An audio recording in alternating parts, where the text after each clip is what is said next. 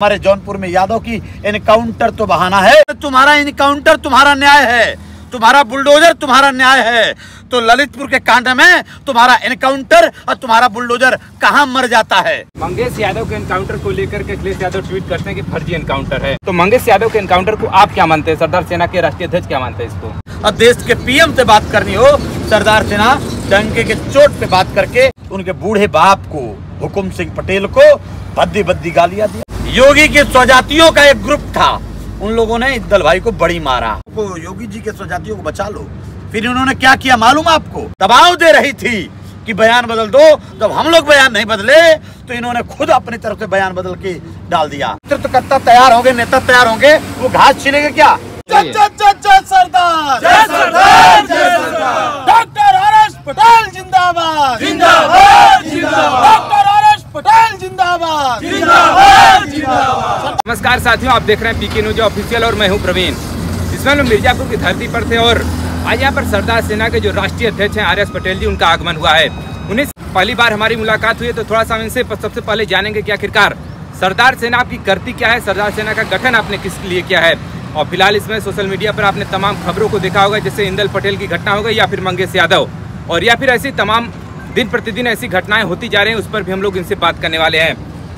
Are S Patel जी हमारे साथ जुड़े हुए हैं, राष्ट्रीय अध्यक्ष हैं सरदार सेना के। थोड़ा हम आपके सरदार सेना के ही बारे में सबसे पहले जानेंगे आखिर आपने इसका गठन ही आपने किस लिए किया है? सबसे पहले आप जैसे क्रांतिकारी पत्रकार साथी को बहुत बहुत धन्यवाद। आपका सवाल है कि सरदार सेना क्या है? तो सरदार मतलब होता है नेतृत्वकर्ता, और सेना मतलब होता है फौज। सरदार सेना मतलब होता है नेतृत्वकर्ताओं की फौज। पाँच, सात साल पहले, लगभग सात साल हो गए। सात साल पूर्व में जब उत्तर प्रदेश के अंदर, पूरे देश के अंदर ये दिख रहा था कि वंचित समाज के रहनुमाओं की कमी हो गई। वंचित समाज के लोगों के ऊपर जब प्रहार, हमला, सामंतवादी प्रहार ज़्यादा होने लगा, जब हमारे लोगों के अधिकारों का हनन होने लगा, तब देश भर के तमाम वैचारिक लोगों की एक बैठक हुई। और उस दौरान तय किया गया कि नेतृत्वकर्ताओं की फौज तैयार करना होगा। साथियों ने निर्णय लिया कि सरदार सेना नाम होगा। तब से हज़ारों लोगों का एक सम्मेलन इलाहाबाद में करके सरदार सेना की घोषणा हुई। तब से लेके आज तक सरदार सेना पूरे देश में, खासकर उत्तर प्रदेश में जहाँ जहाँ पिछड़ों के साथ अपराध, अन्याय, अत्याचार हुआ, सरदार सेना अपनी लाठी अपनी टोपी अपनी झंडा लेकर पहुँच जाती और वहाँ चाहे एसपी से बात करनी हो डीएम से बात करनी हो सीएम से बात करनी हो चाहे बनारस से सांसद और देश के पीएम से बात करनी हो सरदार सेना डंके के चोट पे बात करके न्याय की लड़ाई लड़ती है।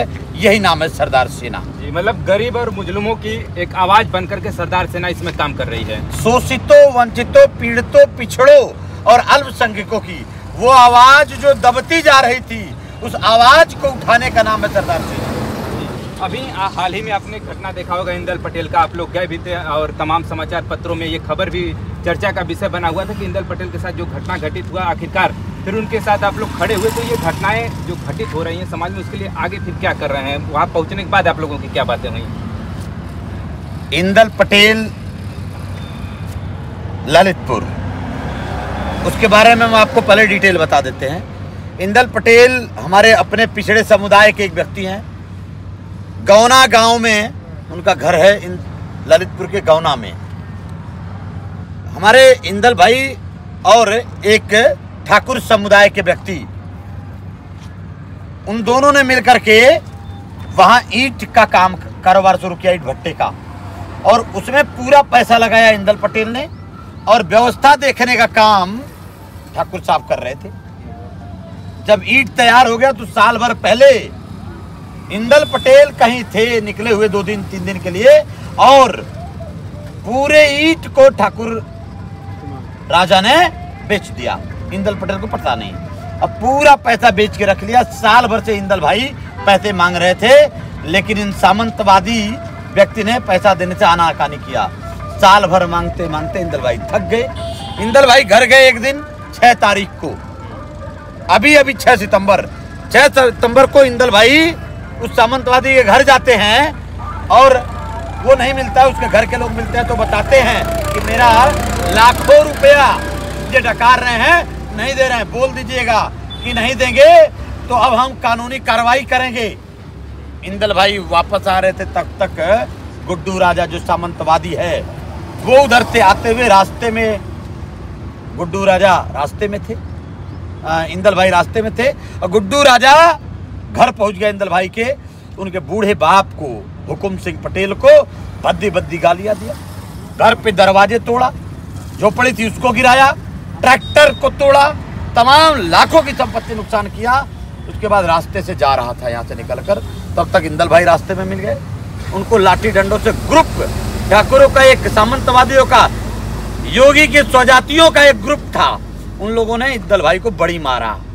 जैसा परिवार के लोगों ने इंदल भाई के बेटे ने बताया, उनके पिताजी ने बताया। उसके बाद इतने से मन नहीं भरा। इंदल भाई घर आते हैं और इन बेईमानों ने, धुर्तबाजों ने, गुंडों ने घर आकर के डीजल छिड़क करके जैसे इंदल भाई घर पहुँच रहे हैं, थोड़ी देर में फिर वो वापस आते हैं। घर पे जैसा परिवार वालों ने बताया कि इंदल भाई के ऊपर इंदल पटेल के ऊपर इन लोगों ने फिर डीजल, पेट्रोल डाल के, ज्वलनशील पदार्थ डाल करके आग के हवाले कर देते हैं। धो धू करके जलने लगी। बेटा घर में था, सोया हुआ, बाहर निकला और बेट, अपने जलते हुए बाप को किस तरह बचाकर आनंद फानंद अस्पताल ले गया। मैं कहना चाहता हूँ आपके माध्यम से, आप जैसे पत्रकार जाबाज साथी से बताना ज़रूरी है ये। इंदल पटेल एक घटना और पूरे प्रदेश में रोज घटनाएँ घट रही है। अभी चंदौली में प्रजापति की हत्या हुई। सरकारी साजिशन हत्या। एक हमारे जौनपुर में यादव की एनकाउंटर तो बहाना है। पिछड़ों का हत्या कर जाना है। ये सरकार की मंशा है। साथ ही इंदल पटेल की अगर बात करें तो ये चार पाँच दिन के बाद जैसे घटना, हम लोग गए ललितपुर, यहाँ से 700 किलोमीटर दूर। और दर्जन भर से ज़्यादा जिलों के हमारे जिला अध्यक्ष प्रदेश के पदाधिकारी हम सैकड़ों लोग ललितपुर पहुँचे। ललितपुर पहुँचे तो पता चला कि योगी बाबा के, उनके स्वजातीय मंत्री के दबाव में वहाँ डीएम और एसपी को दबाव दिया गया कि किसी तरह स्वजातियों को, योगी जी के स्वजातियों को बचा लो। फिर इन्होंने क्या किया मालूम आपको? इन्होंने एसपी ने, एसपी को दबाव दिया और एसपी ने बयान बदल दिया। बयान क्या बदला? एसपी की बाइट है कि इंदल पटेल ने खुद आग लगा लिया। मेरे भाई, जब हमने परिवार वालों से बात किया तो उन्होंने कहा कि पूरी पुलिस प्रशासन दबाव दे रही थी कि बयान बदल दो। जब हम लोग बयान नहीं बदले तो इन्होंने खुद अपनी तरफ़ से बयान बदल के डाल दिया। अब आप समझ सकते हैं, इस बात पर फिर हम एसपी से मिले। डीएम को हमने फ़ोन किया, अन्नी कन्नी काट लिया, लीपा पोती मामले की कर लिया, फिर हम एसपी को फ़ोन किए। हमने कहा आज मिल के ही जाऊँगा। एसपी ने आवाज़ पे बुलाया, मुलाकात किए सारी बात किया तो एसपी का जो लाचारी हालत थी, एसपी को, के बातों से लगा कि एसपी बहुत लाचार है।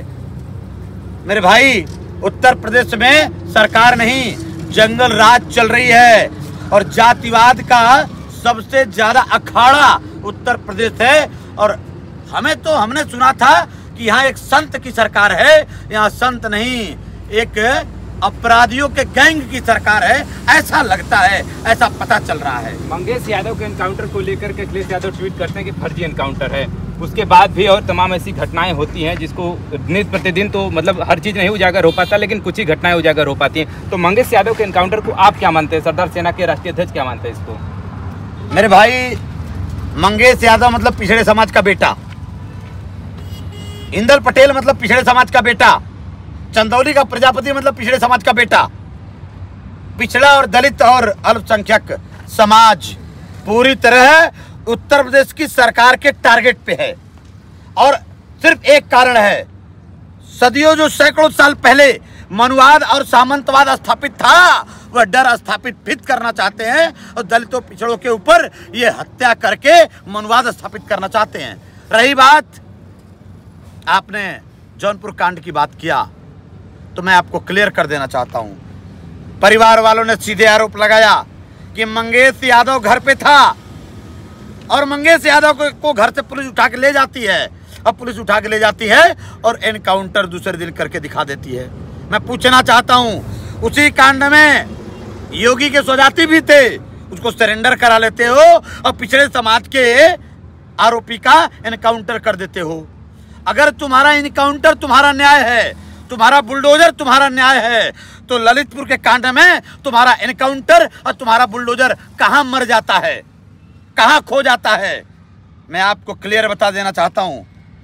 मंगेश यादव पिछड़े समाज का था, इसलिए उस आरोपी को इन्होंने एनकाउंटर कर दिया। बुलडोजर की कार्रवाई होती है। मैं दूसरी बात कहूँ, हमारा भाई इंदल पटेल पटेल समुदाय का है, पिछड़े समुदाय का है, ज़िंदा जला दिया जाता है। लेकिन चूँकि आरोपी अपराधी इनके जाति का है, सीएम का स्वजाति है, इसलिए अभी तक चार ही पकड़े गए हैं। सात का एफआईआर नामजद है। कुछ और अज्ञात हैं। ये सरकार इतनी लाचार है कि अपने स्वजातियों को बचा लेती है। मैं पूछना चाहता हूँ, कहाँ गया तुम्हारा इनकाउंटर न्याय? कहाँ गया तुम्हारा बुलडोजर का खौफ स्वजातीय लोगों में ये शांत हो जाते हैं।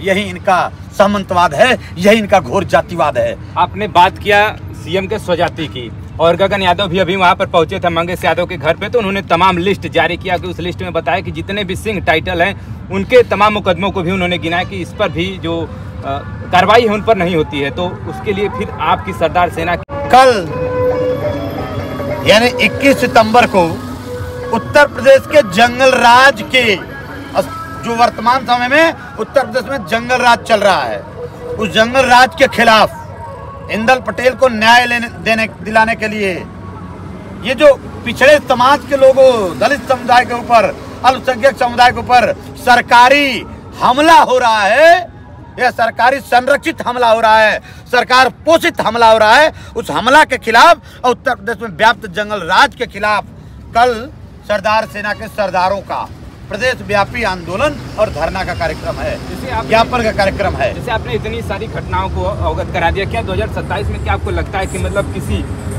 तरीके से ये सरकार बनी रहेगी या फिर जाने वाली है? आपको क्या लगता है? देखिए सरदार सेना सोशियो पोलिटिकल स्टेज पे काम कर रही है।